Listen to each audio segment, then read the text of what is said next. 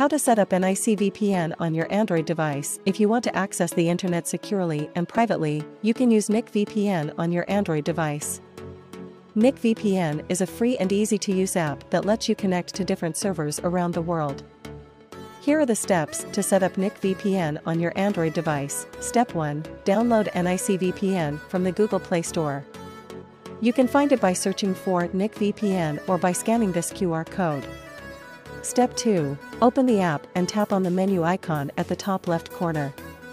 Then tap on Update Servers to get the latest list of available servers. Step 3 Tap on the Tweaks tab at the bottom of the screen and select Slow DNS from the options. This will allow you to use DNS tunneling to bypass any restrictions or censorship on your network. Step 4 Tap on the Connect button at the bottom of the screen and wait for a few seconds until you see a green check mark. This means you are connected to NIC VPN and your internet traffic is encrypted and anonymized.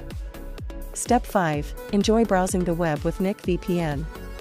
You can check your IP address and location by tapping on the Info tab at the bottom of the screen. You can also change your server or tweak settings by tapping on the menu icon at the top left corner. That's it. You have successfully set up NIC VPN on your Android device.